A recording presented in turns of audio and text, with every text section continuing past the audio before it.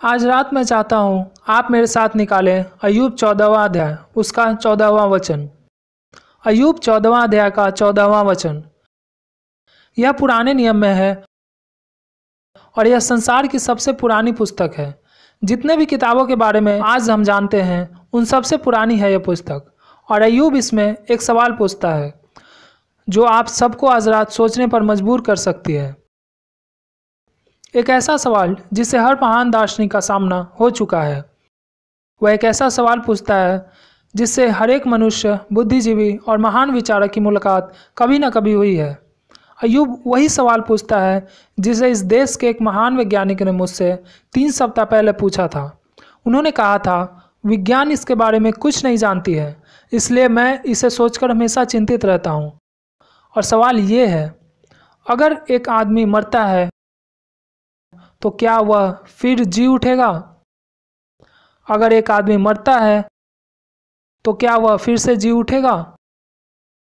समस्या किसमें है? ज़िंदगी और मृत्यु में या मृत्यु और ज़िंदगी में? क्या आपने इसके बारे में कभी सोचा है? आप किसी के अंतिम संस्कार में गए और कुछ समय के लिए आपने शोक किया और इसके बारे में सोचने लगे। उस रात आप जब रात को सोने जाते हैं तो सोचते हैं किसी दिन मुझे भी लोग ऐसे ही ले जाएँगे और मेरे बारे में कुछ बातें कहेंगे। क्या यही अंत है? क्या यहीं पर सब कुछ ख़त्म हो जाएगा? आप जानते हैं बाइबल क्या बतलाती है? बाइबल कहती है, जन्म लेने का समय है और मरने का भी समय है। जन्म लेना एक अच्छी घटना है, मृत्यु एक दुखांत है, जिसे देख हम रोते हैं। आप उत्पत्ति का पांचवा अध्याय पढ़ें। आप वहाँ सूची देखेंगे उन सारे मनुष्यों का, जो बूढ़े हो गए और फिर मर गए। आदम 930 वर्ष जीवित रहा, लेकिन वह मर गया। मतुसेला नौ वर्ष जीवित रहा, लेकिन वह मर गया। मैंने कुछ दिन पहले ब्राज़ील के एक व्यक्ति के बारे में पढ़ा। वह 134 वर्ष तक जीवित था, लेकिन वह मर गया। हर एक जीवन का अंत मृत्यु है, और जीवन बहुत ही छोटी है। बाइबल बतलाती है, यह एक किस्सा है जिसे सुना दिया गया। यह एक फूल है जो मुरझा जाती है और यह वो घास है जो सूख जाती है।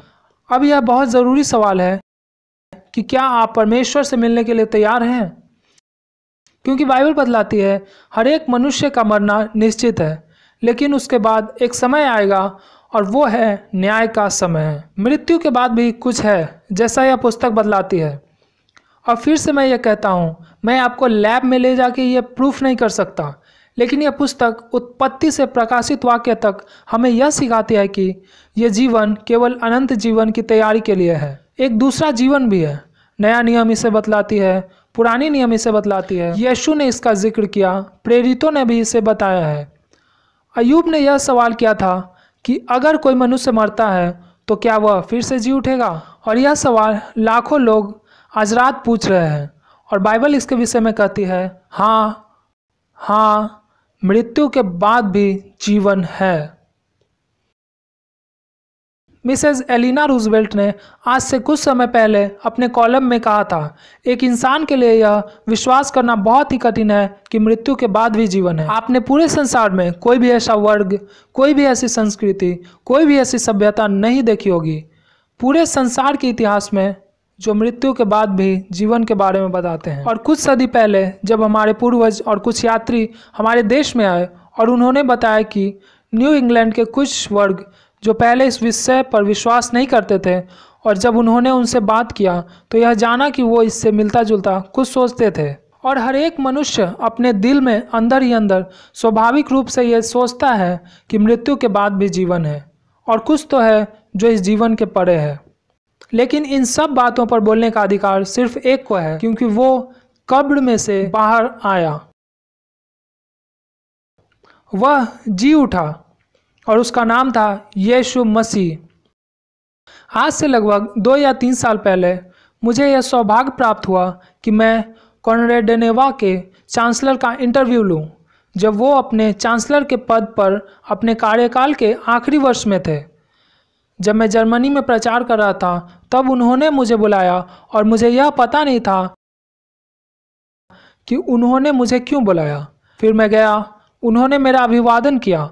वो एक लंबे चौड़े व्यक्ति थे।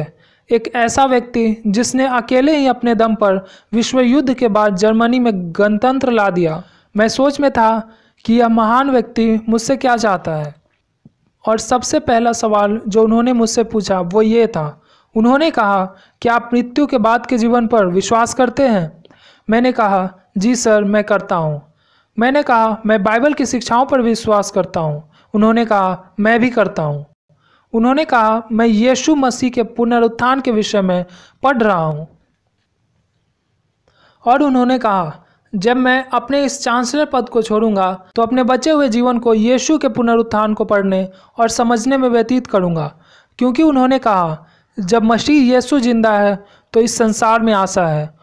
उन्होंने कहा, अगर मसीह जीवित नहीं है तो इस बात की कोई उम्मीद नहीं है कि हम बचाए जाएँ।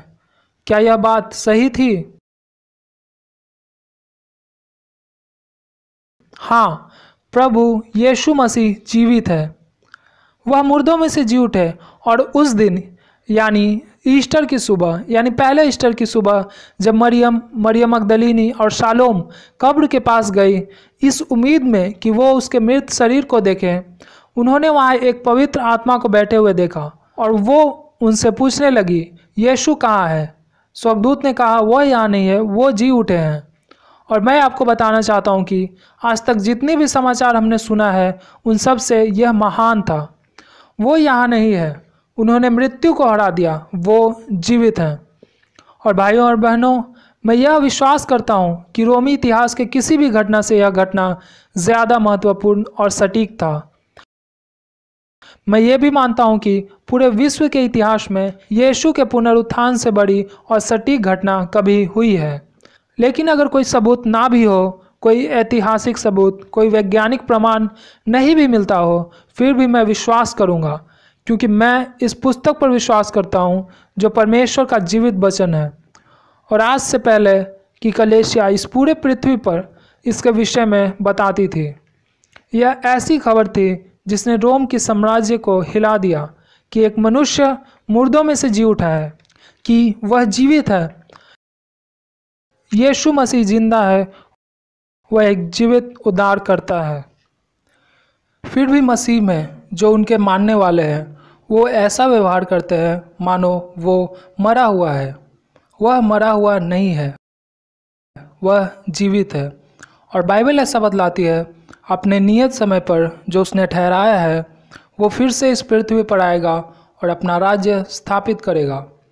और वो राज्य कैसा होगा? वो एक ऐसा संसार होगा, जहाँ आँसू नहीं होंगे, दुख नहीं होगा और मृत्यु नहीं होगी। वो एक शानदार और प्रतापी राज्य होगा। जो सिर्फ़ एक के द्वारा चलाया जाएगा, और वो होगा प्रभु यीशु मसीह। वह जीवित है। मैंने अपना जीवन एक मरे हुए मसीह को नहीं, बल्कि जीवित मसीह को दिया है। और उन्होंने मुझे गाने को एक गीत दिया है। उन्होंने मुझे एक झंडा दिया है कि उसे लेकर चलूँ, और कुछ ऐसा दिया है कि विश्वास कर सकूँ। मेरा चुनाव नए जीवन के लिए हुआ है। मैं जानता हूँ कि मैं कहाँ से आया हूँ। मैं जानता हूँ कि मैं यहाँ क्यों हूँ और मैं जानता हूँ कि मैं कहाँ जा रहा हूँ। क्या आप जानते हैं? परमेश्वर ने कहा हिचकिया अपने घर वालों को ये बता दो, तुम मर जाओगे। अब आप और मैं मरने जा रहे हैं, क्योंकि बाइबल बतलाती है कि मेरे और आपके पास एक शरीर है, लेकिन जो आपके शरीर के भीतर रहता है, वो असली आप है। आपका असली इंसान वही है।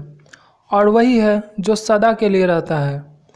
आपका शरीर मृत्यु के बाद कब्र में जाएगी, लेकिन आपके अंदर की सच्चाई, आपकी बुद्धि, आपकी यादें, आपका व्यक्तित्व हमेशा हमेशा के लिए जीवित रह जाएगी। और जैसा बाइबल बतलाती है, आप कभी नहीं मरेंगे। और आप लाखों साल, करोड़ों साल उस एक या दूसरे जगह पर बिताने जा रहे हैं। यह इस पुस्तक के अनुसार है इस बिली ग्राम के अनुसार नहीं। लेकिन मसीह के अनुसार यीशु ने स्वर्ग के राज्य की बातें की है, लेकिन उन्होंने इससे ज़्यादा नर के बारे में बताया है।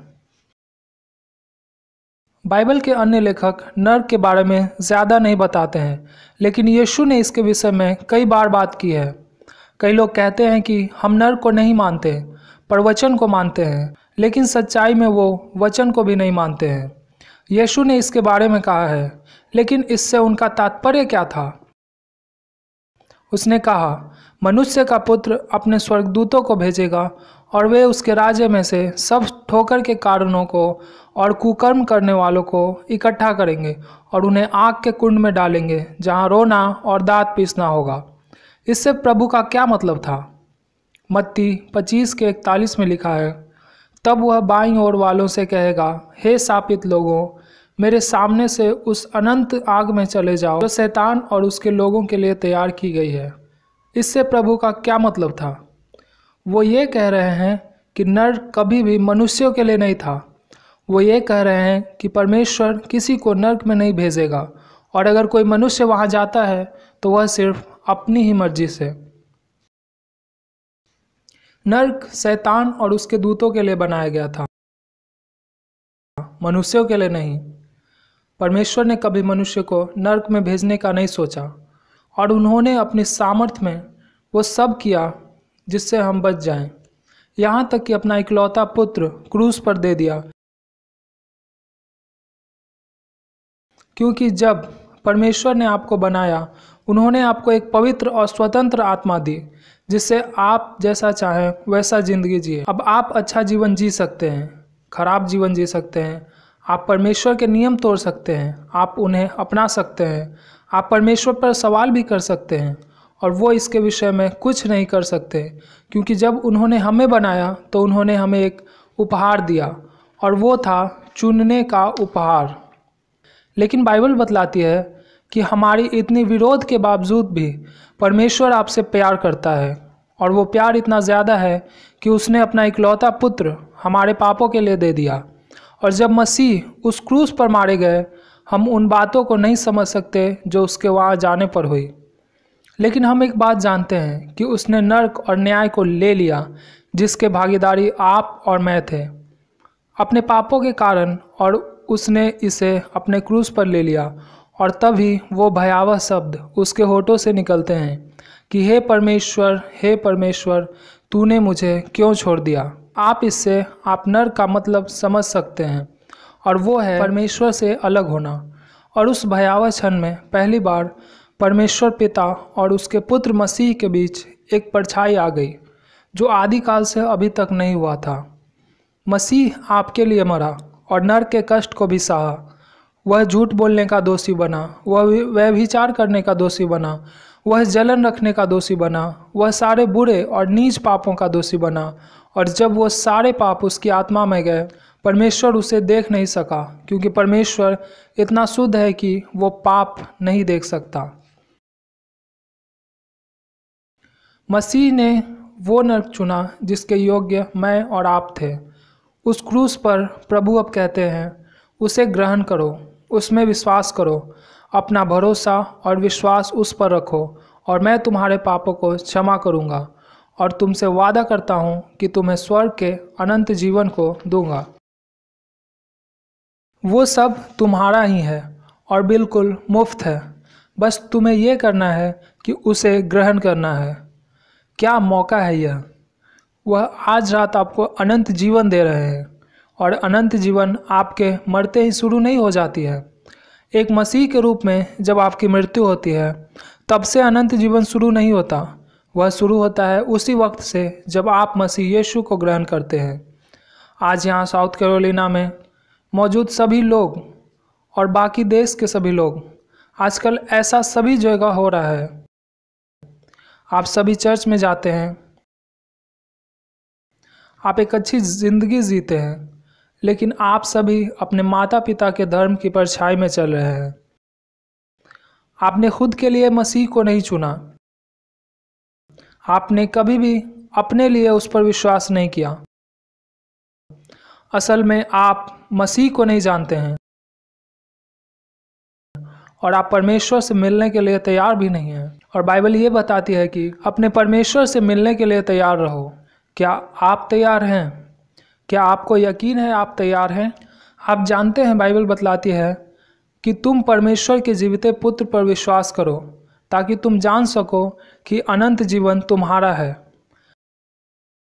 आज रात मैं यहाँ बिना किसी दुविधा के, इस पुस्तक के बिना पर कह सकता हूँ कि मैं जानता हूँ मेरे पाप क्षमा हुए हैं। मैं जानता हूँ मैं स्वर्ग जा रहा हूँ। मैं जानता हूँ कि जब तक परमेश्वर है, मैं जीवित रहूँगा। क्योंकि जिस पल मैंने मसीह को स्वीकार किया, मैं परमेश्वर के जीवन का एक हिस्सा हो गया। अब मेरी आयु करोड़ों वर्ष की हो गई है और वो शुरू भी हो चुकी है। और मैं ये जानता हूँ और ये मेरी अच्छाइयों के कारण नहीं हुआ।